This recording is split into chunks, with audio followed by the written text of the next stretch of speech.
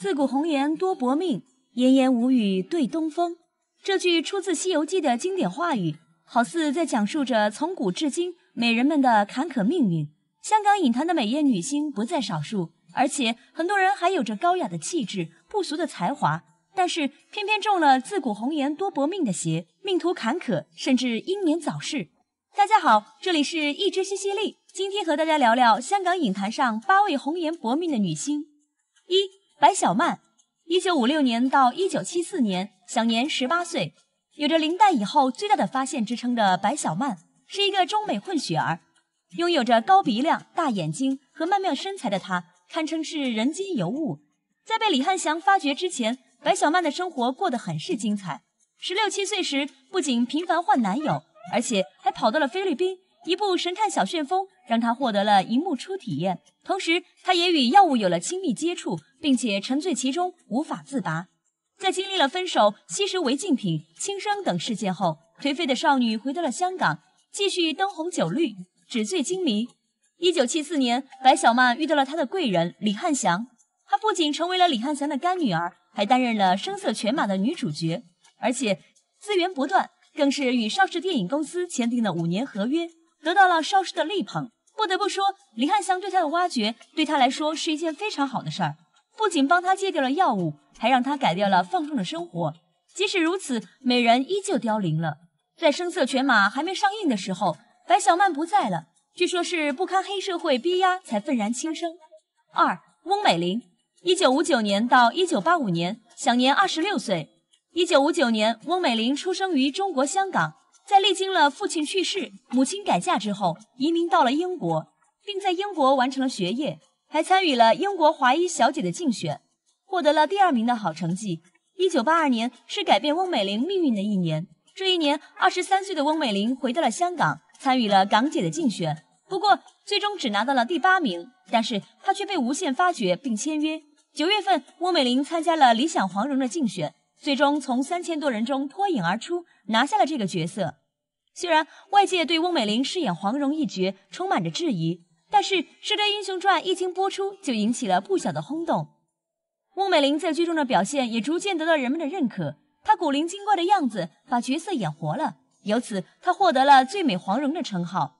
虽然心路一片坦途，但是翁美玲的情场却不是很得意。在拍摄《射雕英雄传》期间，她与汤镇业确定了恋爱关系，但也因为与汤镇业之间的感情破裂和外界的闲言碎语，导致了他的轻生。一九八五年五月十四日。翁美玲在家中结束了自己的生命，享年二十六岁。从此，最美黄蓉凋零。三陈宝莲，一九七三年到二零零二年，享年二十九岁。出生在上海的陈宝莲，从小成长在单亲家庭中，从小跟随母亲长大的她非常缺乏父爱，这导致了她今后与大她三十三岁的黄任中纠缠不清。一九九零年，陈宝莲参加亚洲小姐落选，第二年签约拍三级片。因为当时还未成年，由她母亲代签合同。陈宝莲有着漂亮的脸蛋和曼妙的身材，在电影中表现出色。一系列的作品令小伙伴如数家珍和心向往之。当然了，许多无缘于他三级片的同学也一定看过周星驰的国产《零零七》，爱美神一绝，惊艳绝伦，抢了不少风头。陈宝莲身边不缺男人的身影，不过虽然有莫少聪。黄子扬、蔡枫华等男星围绕左右，但是他最钟情的还是大他三十三岁的黄任中。但这段感情终究没能走到最后，情场的失意再加上事业上的不如意，令陈宝莲一度精神失控，不仅前去黄任中家大闹，并且多次伤害自己，服药轻生。最终在二零零二年七月三十一日的傍晚，陈宝莲从上海的一栋高楼上一跳而下，结束了自己年轻的生命，享年二十九岁。四简慧珍。一九六九年到一九九九年，享年三十岁。简慧珍出生在马来西亚一个富足的家庭中，她的父亲是当地一家珠宝金行的大股东，从小就过着优渥的生活，条件优渥，再加上出色的外形条件，十六岁的简慧珍在阳光小姐选举比赛中一举拿到了冠军，从此踏入了娱乐圈。进入到娱乐圈后，简慧珍的发展很是顺利，不仅频繁搭档张国荣、周润发、刘德华等巨星，拍摄了 A 计划续集。《英雄本色》续集、《一眉道人》等多部影片，还签约了亚视，可谓风光无限。在此期间，他还与李小龙的儿子李国豪结下了深厚的友谊。当听闻李国豪去世的消息后，简慧珍痛哭不已。虽然星途一片大好，但简慧珍好像志不在此。在拍摄了几部影片后，息影，转而去做生意。可惜红颜薄命，一九九八年，年仅三十岁的他患上了脑癌，并于第二年去世，享年三十一岁。五林黛，一九三四年到一九六四年，享年三十岁。在上世纪五六十年代的香港，林黛这个名字可谓是无人不知、无人不晓。她在香港电影史上是最有名头的国语片女演员，还创下了蝉联四届亚洲影展最佳女主角的纪录。这一记录至今都没有人打破过。出生于广西的林黛，因一张照片进入了娱乐圈。一九五一年，十七岁的林黛拍摄了一组照片，其中一张照片被著名摄影师曾维根放大，摆在了自己摄影沙龙的橱窗里。正是这张照片引起了长城电影制片公司负责人的注意，签下了林黛。进入到长城电影制片公司的林黛，凭借着改编自编程的影片《翠翠》走红。之后又加入了当时风头正盛的邵氏电影公司，成为该电影公司最红的明星。当时的林黛可谓是风光无限，不仅影片频频打破卖座纪录，大奖也拿到手软。那时的她被称为继燕窝汤后远东地区最伟大的发现，可见林黛的影响力。值得一提的是，林黛还是天才童星冯宝宝的义母。饶是这样一位颇具影响力的女星，也逃不脱情伤的打击。一九六四年七月一日。林黛在公寓轻生，享年三十岁。她的死讯一经爆出，震惊全球华人。据了解，她出殡当日，成千上万的影迷都来送别美人。六，乐蒂，一九三七年至一九六八年，享年三十一岁。素有“古典美人”之称的乐蒂，原名奚仲仪。在她出生之前，父亲就外出用餐的时候，不幸被炸弹炸中身亡。虽然未出生就失去了父亲，但是乐蒂被母亲和外公教育得很好。在祖父的影响下，乐蒂从小就接触了表演，并产生了浓厚的兴趣。后来，随着母亲迁居香港的乐蒂，考上了长城电影公司并签约，从此开始了自己的圆梦历程。在长城的五年时间里，虽然也拍摄了几部影片，但都因种种原因没能被人熟知。在进入到邵氏电影公司，乐蒂开始大放异彩。在邵氏，乐蒂参演的首部影片就是由大导演李翰祥和胡金铨共同执导的影片《妙手回春》。一炮而红，之后更是片约不断，《红楼梦》《梁山伯与祝英台》《金人艳妇》等佳作频出，成为了邵氏公司的扛把子。事业蒸蒸日上的同时，乐蒂也遇到了自己的爱情。在拍摄《夏日的玫瑰》时，她与今后的丈夫陈厚结缘，但是这段感情并没能长久。在发现丈夫对自己的不忠后，乐蒂果断选择了离婚，专心于发展事业。然而，在离婚后的第二年，也就是一九六八年的十二月二十七日，乐蒂在家中午睡时被女佣发现昏迷不醒，送至医院为时已晚。这位古典美人永远离开了我们，享年三十一岁。七林凤，一九四零年到一九七六年，享年三十六岁。提到邵氏电影公司中成功的女明星，就不得不提到林凤了。她是邵氏电影公司早期培养的最成功的一位女星。还有着邵氏之宝的雅号。出生在香港的林凤自幼喜欢电影和表演，她经常会模仿影片中的各种角色。长大后的林凤考入了邵氏电影公司，开始了她的演员生涯。在进入邵氏的第二年，林凤凭借着《仙秀奇缘》《横门淑女》两部电影走红，成为了邵氏的重点培养对象。据统计，林凤一生共拍摄过一百多部影片。除了演技了得，林凤还能歌善舞，再加上自己清纯的形象。被人们称为“银坛玉女”，颇受人们的喜爱，也深受公司的重视。一九六七年，在拍摄完电影《月向那方圆》后，林凤宣布了息影，与丈夫步入了婚姻殿堂，专心相夫教子。但人们万万没想到，这部影片竟成了林凤的绝唱。一九七六年，人们接到了林凤的死讯，这位曾经的银坛玉女，永远定格在了三十六岁。八梅艳芳。一九六三年到二零零三年，享年四十岁。一九八二年，一曲《风的季节》打动了评委的心，捧红了一个十九岁的小姑娘梅艳芳。正是凭借着这首歌曲，梅艳芳签约华星唱片公司，正式出道。在出道的第二年，专辑《赤色梅艳芳》发行，拿下了五百斤销量。梅艳芳开始了叱咤歌坛的黄金岁月。自一九八五年起，梅艳芳多次创下香港歌手的歌唱纪录。荣获了梅念八、梅三十等称号。是香港歌坛的大姐大。除了影坛上的成就，梅艳芳也涉足影视业，《香香花月夜》《胭脂扣》《川岛芳子》《半生缘》《钟无艳》等多部影视作品，让人们看到了梅艳芳不俗的演技。但是，二零零三年的十二月三十日，梅艳芳因宫颈癌永远离开了我们，年仅四十岁。在二零零三年的最后一场演唱会上，梅艳芳不顾身体的疼痛，坚持唱完最后一首歌。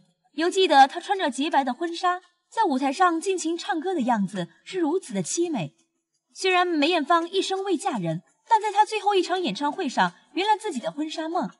梅艳芳最终把自己嫁给了舞台，犹如她那首《女人花》中唱过那样：“缘分不停留，像春风又走。女人如花，花似梦。”有人曾经说过：“美人难得，薄命的美人更加令人惋惜。”这八位红颜薄命的女星，有些在人生的巅峰时突然消逝。有些在人生落魄时黯然离世，虽然他们在这个世界停留的时间很短，但是遭命的命运，甚至英年早逝。今天就来盘点一下那些红颜薄命的女星们。一林凤，提到邵氏电影公司中成功的女明星，就不得不提到林凤。她是邵氏电影公司早期培养的最成功的女星之一，被誉为邵氏之宝。林凤出生在广东。自幼就喜爱电影和表演，经常模仿影片中的各种角色。后来，她考入了邵氏电影公司，开始了自己的演员生涯。进入上市后的第二年，林凤凭借着《仙秀奇缘》和《蓬门淑女》两部电影走红，成为了上市的重点培养对象。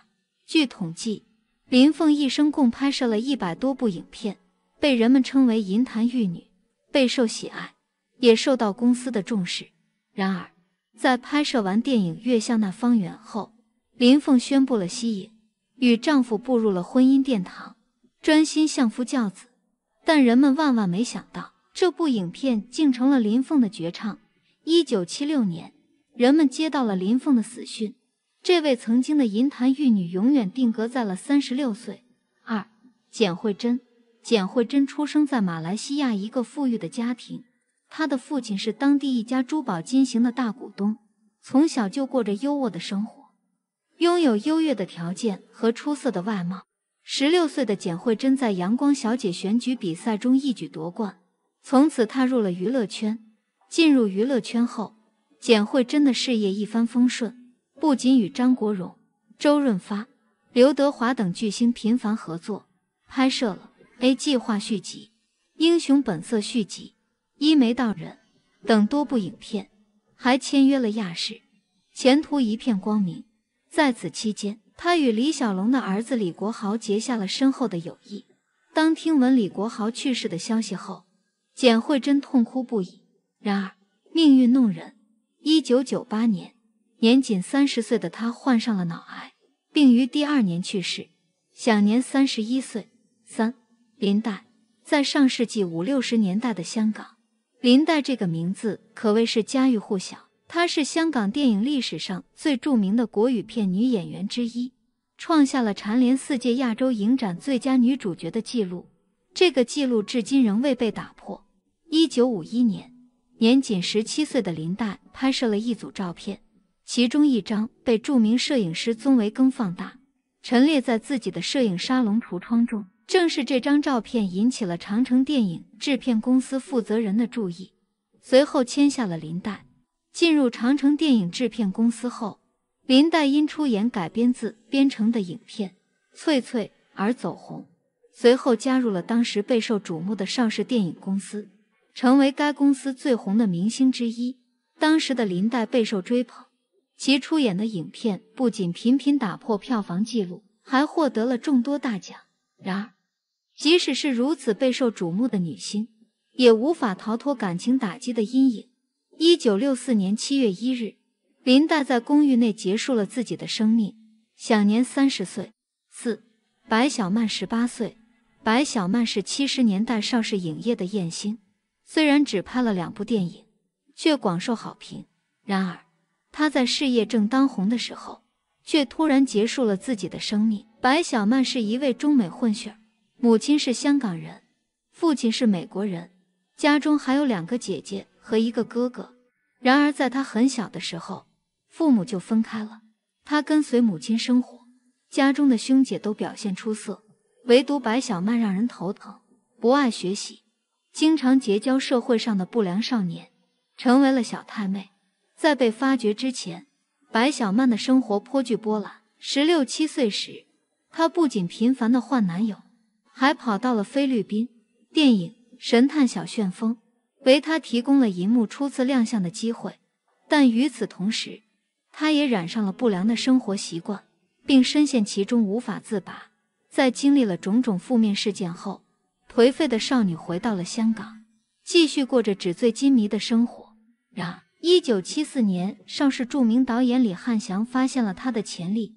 李汉祥认白小曼做干女儿，并让她出演了电影《声色犬马》中的女主角，其中有不少大尺度的戏份。白小曼的表演受到邵氏的赏识，得到了五年的片约，并成为了电影《倾国倾城》的女主演。被誉为林黛以后最大的发现的白小曼，拥有着中美混血的外貌特征。高挺的鼻梁、大眼睛和婀娜多姿的身材，使她成为了当时的焦点。李汉祥对她的发掘是一件非常好的事情，不仅帮她戒掉了不良生活习惯，还让她改掉了放纵的生活。然而，即使如此，美人依旧凋零了。就在邵氏准备大力栽培白小曼时，她却突然结束了自己的生命，年仅十八岁。在《声色犬马》还未上映之际。白小曼便离世了，或许是一时冲动，或许是对娱乐圈不适应，这样年轻的离去，着实令人惋惜。陈宝莲二十九岁，身高一百七十五的陈宝莲天生美艳，注定要吃演员这碗饭。但她空有老天赏赐的好皮囊，却占尽了人间悲剧。陈宝莲出生在一个不幸福的家庭，长大后，她被母亲被推着去参加港姐选美。落选后，被母亲牵到了电影公司拍风月片。许多无缘于她影片的朋友，也一定看过周星驰的国产《零零七》，爱美神一脚惊艳绝伦。身材火辣的陈宝莲很快凭借大尺度电影收获关注，而她的片酬都被母亲拿去还债。后来，陈宝莲爱上了当时正当红的莫少聪，这个男友只给了她一时的疼爱，背后却偷偷劈腿。和莫少聪分手后。陈宝莲被台湾大佬黄仁忠追求，对方出手阔绰，呵护有加，让她找到了久违的归属感。出生在上海的陈宝莲，从小成长在单亲家庭中，从小跟随母亲长大的她非常缺乏父爱，这导致了她今后与大她三十三岁的黄仁忠纠缠不清。但这段感情终究没能走到最后，陈宝莲一度精神失控，不仅前去黄仁忠家大闹。并且多次做出不理智的事情，感情不顺的她，事业也遭受严重打击，从红极一时的美艳女星，成为了无人敢用的疯婆子。最终，在二零零二年七月三十一日的傍晚，陈宝莲结束了自己年轻的生命，享年二十九岁。六，翁美玲二十六岁。一九八二年是改变翁美玲命运的一年，这一年，二十三岁的翁美玲回到了香港。参与了港姐的竞选，不过最终只拿到了第八名。但是她却被无限发掘并签约。九月份，翁美玲参加了理想黄蓉的竞选，最终从三千多人中脱颖而出，拿下了这个角色。据说当时有超过三千人参加了黄蓉的面试，其中不乏港姐。为了取得优势，翁美玲身穿古装参加了面试，并现场表演了一段黄蓉的台词。让金庸眼前一亮，从而顺利获得了这个角色。虽然外界对翁美玲饰演黄蓉一角充满着质疑，但是《射雕英雄传》一经播出，就引起了不小的轰动。翁美玲在剧中的表现也逐渐得到了人们的认可，她古灵精怪的样子简直就是黄蓉本容，由此她获得了最美黄蓉的称号。从此，她的事业也迈向了巅峰。虽然心路一片坦途。但是翁美玲的情场却不是很得意。在拍摄《射雕英雄传》期间，她与汤镇业确定了恋爱关系，两人相恋两年，一直分分合合，最终于一九八五年分手。尽管很快有了新的追求者，但翁美玲无法从失恋中走出来，也因为与汤镇业之间的感情破裂和外界的闲言碎语。一九八五年五月十四日，翁美玲在家中去世，享年二十六岁。从此，最美黄蓉凋零。七，梅艳芳四十岁。梅艳芳被誉为香港女儿，是最具代表性的女星之一。她在影视和歌唱领域都取得了辉煌的成就，至今无人能超越。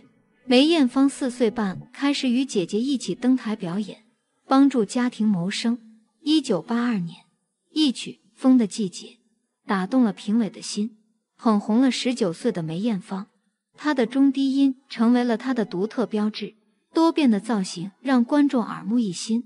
凭借这首歌曲，他签约了华星唱片公司，正式出道。在出道第二年，专辑《赤色梅艳芳》发行，销量五白金，标志着梅艳芳开始了她辉煌的音乐生涯。从一九八五年开始，她多次创下了香港歌手的歌唱纪录，荣获了梅念八、梅三十等称号，是香港歌坛的大姐大。从一九八二年开始。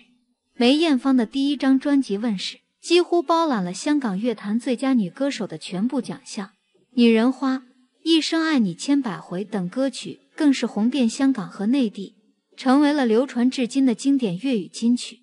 除了音乐领域的成就，梅艳芳在电影领域也取得了巨大成功，出演了《湘江花月夜》《胭脂扣》《川岛芳子》《半生缘》《钟无艳》等多部影视作品。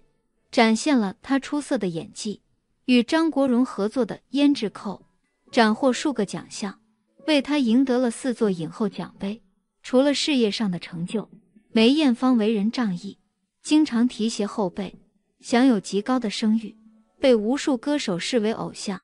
然而，二零零三年，四十岁的梅艳芳被诊断患有晚期宫颈癌，她挣扎着完成了最后一场巡演，身着婚纱。像在舞台上嫁给了生命，在众多朋友的陪伴下，安详离世。八，乐蒂三十一岁。乐蒂是二十世纪五十至六十年代的知名女星，素有“古典美人”之称。原名奚仲仪，一九五九年出演了电影《倩女幽魂》，饰演最早的小倩。这部电影还参加了法国戛纳电影节，使她被西方媒体誉为最美的东方女星。乐蒂出生于名门之家。外祖父是上海知名的大富豪，在他出生之前，父亲在外用餐时不幸意外离世。尽管失去父爱的摇篮，但他得到了母亲和外公的精心教导。后来，随母亲迁居香港，乐蒂考入了长城电影公司，并签下了合约，开启了他的梦想之旅。在长城的五年里，他参演了几部影片，但因各种原因未能引起人们的广泛关注。直到加入邵氏电影公司后，乐蒂的事业才开始蒸蒸日上。二十一岁时，乐蒂加入邵氏电影公司，继续成为当红花旦。她在邵氏拍摄了二十一部影片，并获得金马奖最佳女主角，事业达到巅峰。她的时尚和妆容更是引领了时代潮流。在她事业飞速发展的同时，也经历了爱情的起伏。在拍摄。夏日的玫瑰时，她与未来的丈夫陈厚相识。一九六二年，乐蒂与邵氏男星陈厚结婚。然而，这段感情并未长久。当她发现丈夫对她的不忠时，乐蒂不顾名誉和流言，亲自向法院提出离婚。离婚后，将精力全注于事业。她与哥哥合开电影公司，事业再度迎来高峰。然而，命运却不幸。一九六八年十二月二十七日，三十一岁的乐蒂在家中午睡时突发昏迷，送医后已无法挽回。法医鉴定显示，她是因过量服用违禁药物导致心脏停止跳动而离世。这位古典美人永远的告别了我们。有人说，美人难得，我想说，红颜薄命更令人惋惜。这十位红颜薄命的女星有些在事业鼎盛时意外离世有些在低谷时黯然别世。尽管她们在世间停留的时间短暂但她们曾经绽放美丽为世界带来无尽的美好。